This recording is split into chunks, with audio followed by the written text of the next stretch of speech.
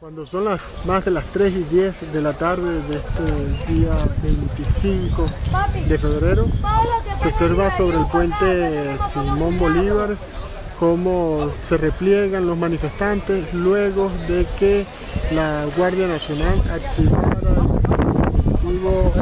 el dispositivo con el lanzamiento de gases lacrimógenos y el lanzamiento de perdigones. Y están cerca de la frontera con Colombia disparando a los manifestantes que corren tanto arriba como debajo del puente.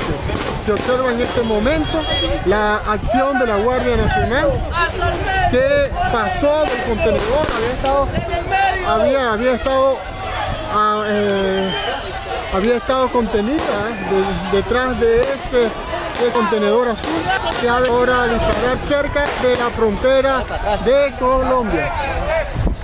Continúa la represión, están cerca del toldo blanco, cerca del toldo blanco es, es ya el inicio del territorio colombiano, el inicio de la oficina de migración de, la oficina de migración de Colombia, es donde está el toldo blanco. Hasta allí, casi cerca de eso, avanzaron los funcionarios de la Guardia Nacional que disparan y reprimen y se ve ahora la movilización del otro lado de orden público de la Policía Nacional de Colombia. Detrás de esos árboles está orden público de la Policía de Colombia. Miren cómo tienen que correr los policías colombianos. Los policías colombianos están corriendo afectados por los gases lacrimógenos lanzados por la Guardia Nacional.